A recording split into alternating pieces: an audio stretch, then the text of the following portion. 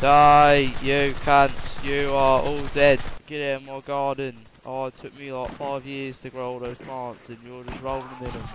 Die, you fucking cunts. Well, that was the best shit I've ever taken. What the fuck? I'm gonna take this boomstick and shove it right up his ass. You fucking cunt. Oh no, there's a dynamite behind me. I better get off this tire and run away. Ah. Ah.